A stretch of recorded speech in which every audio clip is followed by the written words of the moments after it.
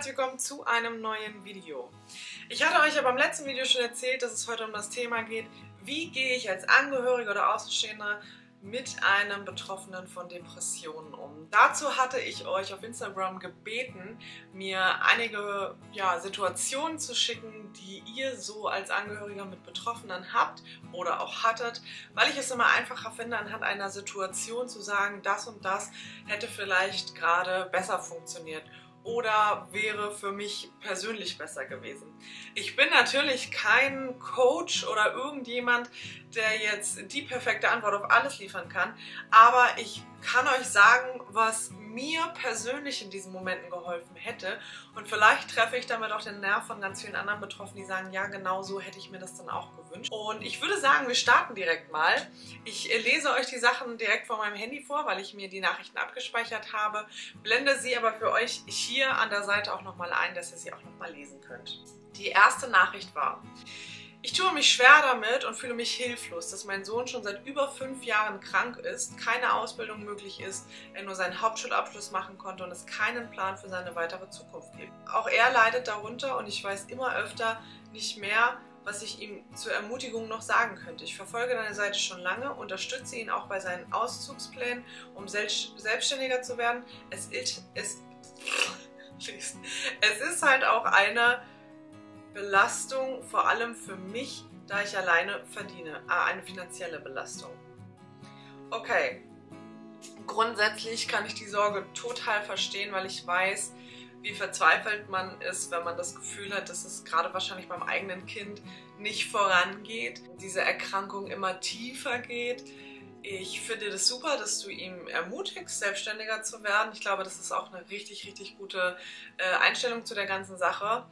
Bei mir war es so, dass ich ja auch jetzt Ewigkeiten nicht arbeiten konnte. Also ich habe ja 2010 meinen Realschulabschluss gemacht. 2011 habe ich, äh, also bis 2011 habe ich dann danach meine erste Ausbildung gemacht. Dann war ich ja schwer krank und bin in der Klinik und alles mögliche.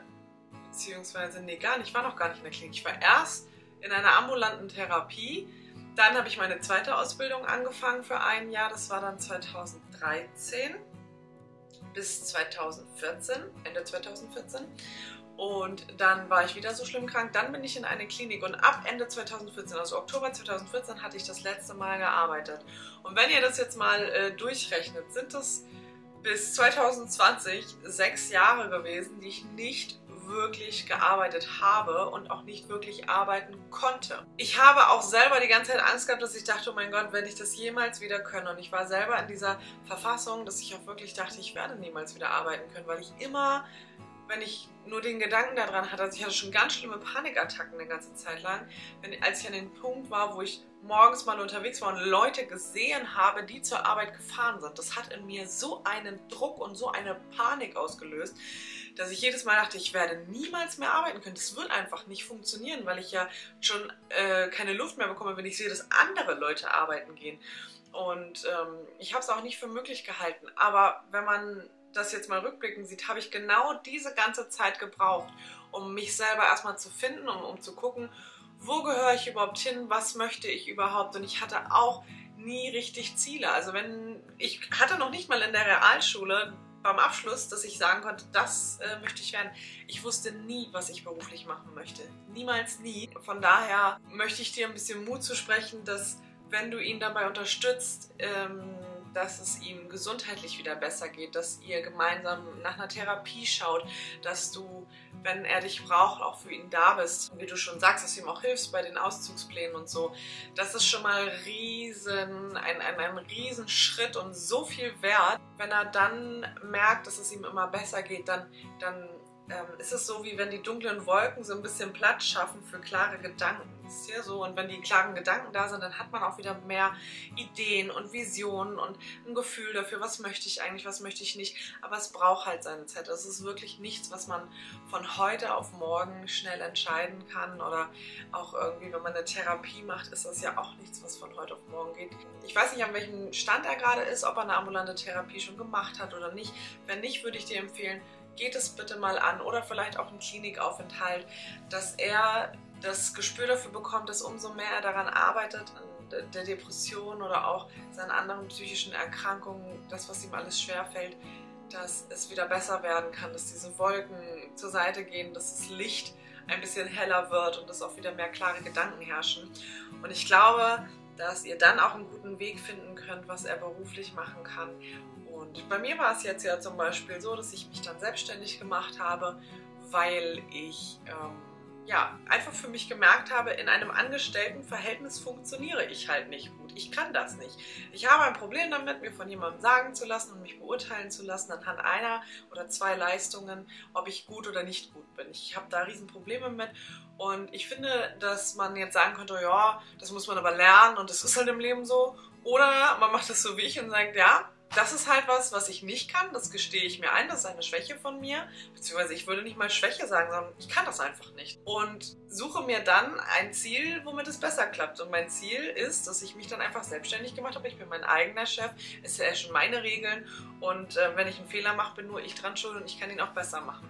Das ist einfach mein Weg gewesen. Und so würde ich äh, jedem ans Herz legen, seinen eigenen Weg zu gehen. Was das Finanzielle anbelangt, kann er, wenn er ähm, ja jetzt schon länger nicht gearbeitet hat, bekommt man ja erstmal das Krankengeld für anderthalb Jahre und danach kann er die Erwerbsminderungsrente beantragen. Und das würde ich euch auch ans Herz legen, wenn ihr das noch nicht gemacht habt, das einfach mal anzugehen und euch da auch finanzielle Unterstützung zu suchen und euch da ein bisschen schlau zu machen.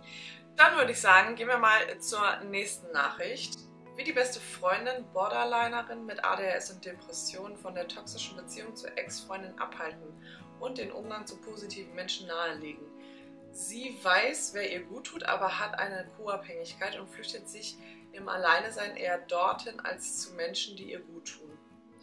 Ja, das ist ähm, eine schwierige Sache, aber gar nicht so ungewöhnlich. Also wenn du merkst, dass sie selber das noch gar nicht so richtig kann, dann ist es trotzdem wichtig, dass du ihr nicht das Gefühl gibst, dass sie deswegen ein schlechterer Mensch ist oder so. Also ich bin in einer ähnlichen Situation. Ich tue mich auch sehr schwer damit, toxische Dinge zu beenden oder für mich dieses Gefühl zu entwickeln. Ich habe was Gutes verdient, ich habe was Besseres verdient und umgebe mich auch oft mit Menschen, die mir nicht gut tun. Das hat ganz viel mit Dingen aus der Kindheit zu tun, wo man die Erfahrung gemacht hat, dass man nichts wert ist oder nichts Besseres verdient hat und deswegen sich auch schwer tut, wenn man dann mit Menschen zu tun hat, die genau das wieder erfüllen, da dann Abstand zu gewinnen. Ich habe äh, eine sehr gute Freundin, die mir aber immer wieder klar vor Augen hält, dass sie mich genau mag, wie ich bin, dass ich so viele tolle Sachen schon geschafft habe. Natürlich sagt sie mir auch, das ist natürlich nicht gut, das weißt du, aber wenn du darüber sprechen möchtest, kannst du jederzeit zu mir kommen. Und das Wichtige ist halt, dass du als Freundin sie nicht davon irgendwie abhalten kannst oder da so eingreifen kannst, dass du sagst, du gehst da jetzt nicht hin und bla bla bla, sondern verhalte dich einfach so, als würde es dieses Problem zwischen euch nicht geben, weil es ist ja für euch beide eigentlich kein Problem. Ihr seid ja trotzdem gute Freunde und da ist es der Part als Freundin einfach nicht übergriffig zu werden, sondern bei sich zu bleiben und zu sagen, wir beide sind Freundinnen und das, was du außerhalb unserer Freundschaft machst, muss ich ja deswegen nicht alles gut finden. Und trotzdem bin ich für dich als Freundin da. Und ansonsten ihr vielleicht auch nochmal ans Herz legen, in therapeutische Behandlung zu gehen. Ich weiß es ja immer nicht, wer von euch in therapeutischen Behandlung ist und wer nicht.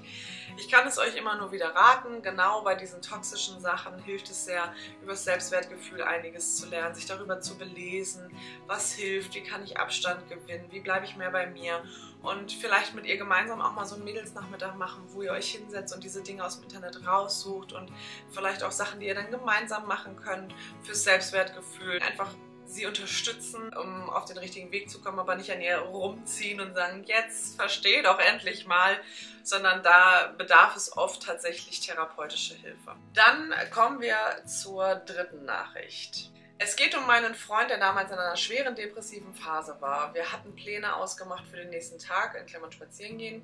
Am nächsten Tag wollte er dann nicht aufstehen. Ich habe alles versucht, ihn sogar angeschrien, angefangen zu weinen, ihm gedroht, Schluss zu machen, etc. Und es kam trotzdem keine Reaktion. Er war wach und hat nicht mal mit mir gesprochen. Zu dem Zeitpunkt hat er bei seinen Eltern gewohnt, die auch beide an Depressionen leiden. Ich wusste mir nicht zu helfen und bin dann nach Hause gefahren, anderthalb Stunden entfernt. Mittlerweile ist alles okay, aber in dieser Situation hätte ich Hilfe und Unterstützung gebraucht und wüsste gerne, wie ich es hätte besser machen können. Schwierige Situation. Ähm, ich muss ganz ehrlich sagen, bei mir läuten die Alarmglocken, wenn ich höre, ich habe ihn angeschrien und ihm gedroht, Schluss zu machen. Das ist natürlich das Allerschlimmste, was du in diesem Moment tun kannst. Und damit sorgst du eigentlich noch viel mehr dafür, dass er sich noch mehr zurückzieht. Das Ding ist einfach, wenn du in einer wirklich depressiven Phase steckst, dann bist du in einem Loch, dann bist du wie in einer Hülle ummantelt. Du kriegst zwar irgendwie noch so ein bisschen mit, was außenrum passiert, aber es, es berührt dich nicht, es kommt nicht an. Und du siehst, was passiert, aber du fühlst es nicht. Du stehst da und siehst es und denkst, es ist einfach alles nur schrecklich und du willst aus dieser Bubble irgendwie raus, aber es funktioniert nicht. Und wenn dann noch jemand vor dir steht, dich anschreit und dir droht, dich, dich völlig alleine zu lassen, ist das natürlich ah, nicht ganz so nice. Und ähm, ich verstehe absolut deine Verzweiflung, wenn man dann an einem Punkt ist, wo man denkt, Alter, reagier doch mal. Aber wenn jemand da ist und nicht mehr reagiert, dann würde das eher helfen, wenn man sich vielleicht ein bisschen selber runterfährt, das versucht, es ein ruhiges Gespräch irgendwie zu suchen, also zu sagen, hey, wir wollten ja spazieren gehen, hast du Lust, möchtest du, ich würde mich freuen. Wenn keine Reaktion kommt, so nach einigen Sätzen, denjenigen aber nicht weiter unter Druck setzen, sondern sagen, okay, ich merke, dass es dir gerade nicht gut geht. Sag mir einfach oder schreib mir, was du brauchst. Wenn du eine Umarmung möchtest, ich bin hier, ich gehe auch nicht weg und dich dann vielleicht einfach in die Nähe setzen, sodass der Betroffene jederzeit die Möglichkeit hat, sich von dir dann gerade das zu holen, was er braucht und da halt auch ein bisschen selbstlos zu sein. Also man darf das nicht persönlich nehmen, aber derjenige kann dann nicht anders und es hilft überhaupt nicht, den dann noch unter Druck zu setzen, sondern wirklich anzubieten, das alles im Ruhigen anzugehen und auch zu sagen, okay, wenn es dir jetzt gerade nicht gut geht, ich bleibe bei dir, ich halte das auch mit dir gemeinsam aus.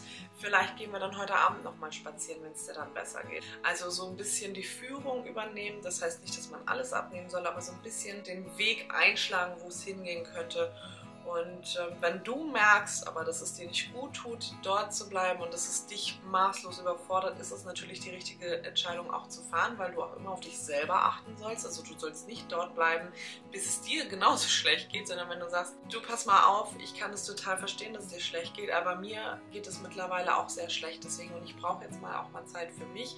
Ich würde mich freuen, wenn wir vielleicht in ein paar Tagen uns dann nochmal sehen. Ich fahre jetzt erstmal nach Hause und wenn irgendwas ist, kannst du dich weiter in jeder jederzeit melden, aber mich fängt es an sehr zu belasten. Ich glaube, dass es auch sehr für Angehörige hilfreich sein kann, wenn sie sich auch in Selbsthilfegruppen vielleicht begeben, wo man einfach mal gemeinsam darüber sprechen kann, wie es denn so ist als Angehöriger und auch das Gefühl zu haben, auch damit nicht alleine zu sein. So, dann nehmen wir nochmal die nächste Sache. Das ist eine tolle Idee. Mich persönlich würden Tipps interessieren, wie man lernt, Nein zu sagen, ohne ein schlechtes Gewissen und ohne sich erklären zu wollen. Neige dazu, mich zu überfordern und nicht für mich einzustehen. Wenn ich auf etwas auch einfach mal keine Lust habe oder nicht ausreichend Zeit, habe dann immer Angst, die Leute könnten denken, ich sei faul und würde mir nicht genug Mühe geben.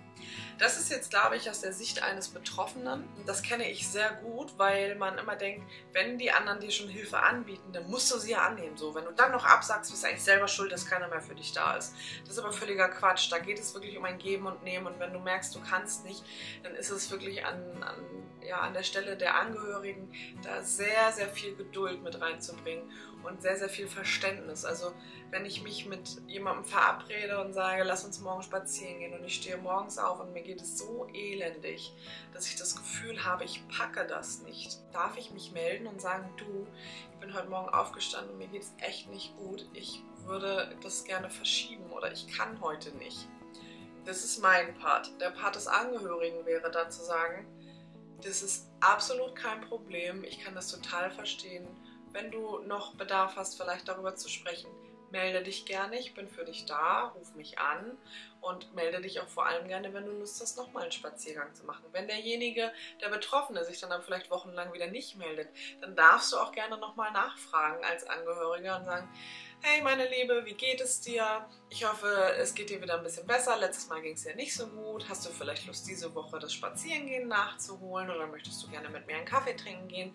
Also in großen Abständen schon da sein, aber nicht aufdringlich sein und vor allem gib bitte niemandem ein schlechtes Gefühl, wenn er absagt. Denn grundsätzliches Absagen ist schon mal richtig viel wert, finde ich weil es natürlich viel einfacher ist, einfach abzutauchen. Das machen auch sehr viele aus Angst vor Ablehnung. Wenn sie sich einfach nicht mehr melden, ist es oft so, dass man denkt, es ist einfacher, dass ich einfach weg bin. Ich muss mich dann auch nicht mit irgendwas auseinandersetzen, mit irgendwelchen Diskussionen, die ich nicht führen möchte, weil es ist immer eine Angst, wie reagiert der andere, wenn man sagt, heute nicht. Ich denke, dass es einfach ein Zwischenspiel aus beiden Seiten ist und dass es auch was mit ähm, Respekt zu tun hat, zu sagen, hey, es ist völlig okay und auch mit einem erwachsenen Verhalten. Also wenn jetzt jemand absagt und man sagt, ja toll, aber jetzt habe ich extra alles nur für dich vorbereitet und ba, dann kann ich euch versichern, dass der Betroffene oder die Betroffene euch nicht nochmal um Hilfe bitten wird und fragen wird, ob ihr für denjenigen da seid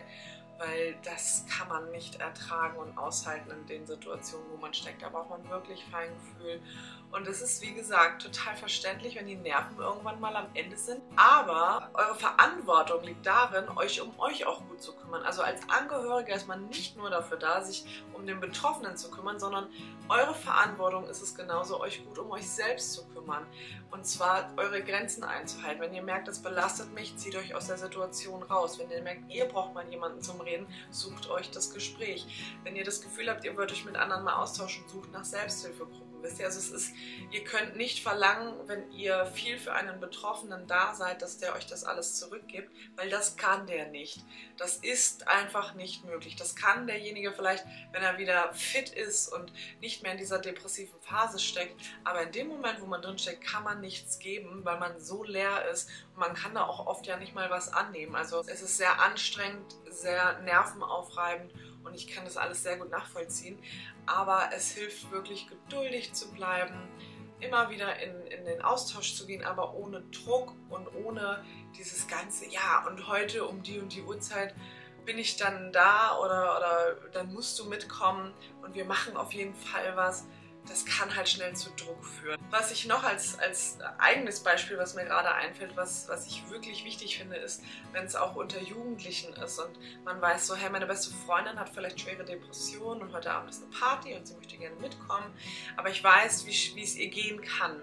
So, und dann stellt euch mal vor, ihr nehmt eure Freundin mit, seid gerade auf der Party angekommen und ähm, fünf Minuten später sagt sie, du, ich glaube, ich möchte wieder nach Hause, mir geht es nicht gut dann bitte, bitte tut mir den Gefallen, wenn ihr eine gute Freundin sein wollt, versucht nicht, sie zu überreden, da zu bleiben. Ihr könnt einen Satz sagen und, und fragen, okay, wollen wir vielleicht erstmal was zusammen trinken oder möchtest du, dass ich dich jetzt nach Hause fahre? Oder was weiß ich, wollen wir tanzen gehen, ne? Das mit dem Trinken wäre zum Beispiel. Also, dass ihr sie nochmal explizit fragt. Und wenn die Freundin sagt, ich möchte gerne nach Hause, dann sagt, gar kein Problem. Möchtest du dich noch von den anderen verabschieden? Sollen wir gleich losfahren? Wenn sie sagt, nee, ich möchte mich nicht mehr verabschieden, weil es natürlich auch eine unangenehme Situation ist, ne? so nach fünf Minuten haut man gleich wieder ab, pack deine Freundin ein und setz dich mit ihr ins Auto oder ruf ihr ein Taxi, whatever, und helf, hilf, helf ihr, ähm, gut nach Hause zu kommen und sag ihr, ich fand es trotzdem super schön, dass du heute mitgekommen bist, dass du es bis mit zur Party geschafft hast und dass du auch hier eine gewisse Zeit das mit ausgehalten hast ich finde das noch viel besser, dass du so gut auf dich achtest, dass du jetzt auch sagst, bis hierhin und nicht weiter. Und ich freue mich auch, wenn du das nächste Mal vielleicht wieder mitkommst und wir gemeinsam schön Zeit verbringen. Sei mir nicht böse, ich möchte gerne noch weiter auf dieser Party sein. Wenn ihr da gerne hin wenn ihr sagt, diese Party ist mir nicht so wichtig, ich bleibe gerne bei meiner Freundin, bietet ihr halt auch gerne an, mit zu ihr nach Hause zu kommen und dann das ihr zum zweiten Abend macht. Achtet da, wie gesagt, auf eure Bedürfnisse. Aber wichtig ist, dass nicht äh, dieses ja, aber nun komm und ist doch lustig hier und ach, das sind doch erst fünf Minuten und, mm, und da ist man ja sehr bei sich und es hilft wirklich immer noch ein bisschen nach dem anderen dann da in dem Moment zu gucken, ohne seine eigenen Grenzen natürlich zu überschreiten, aber das sind so Tipps, die ich euch aus meiner Erfahrung mit an die Hand geben kann. Weil ich ja meine Videos nicht mehr ganz so lange machen wollte und ich jetzt schon sehr, sehr viel erzählt habe wieder, machen wir jetzt hier erstmal einen Cut und wenn ihr noch weitere Fragen habt für gewisse Situationen, schreibt sie sehr, sehr gerne in die Kommentare und dann werde ich bestimmt auch noch mal ein Part 2 zu dem Ganzen machen. Ich bin sehr, sehr gespannt, was ihr alles so für Ideen und Gedanken zu diesem Video habt und zu den, zu den Nachrichten. Vielleicht auch könnt ihr auch gerne sagen, was ihr denkt, was euch da geholfen hätte und in den Kommentaren, dass wir da so richtig in den Austausch kommen, weil ich finde das immer super interessant, so ganz viele Sichtweisen einfach zu sammeln. Und dann ähm, würde ich sagen, sehen wir uns beim nächsten Video wieder. Da wird es um das Thema gehen, Identifizierung mit meiner Erkrankung. Wie sehr bin ich eigentlich die Erkrankung oder was macht diese ganze Erkrankung mit mir als Persönlichkeit? Ich bin schon sehr gespannt, wie euch das dann gefallen wird. Wünsche euch jetzt aber erstmal einen ganz tollen Tag und bis zum nächsten Mal. Achso, und denkt natürlich dran, folgt mir auf Instagram. Da sehen wir uns dann. Tschüss!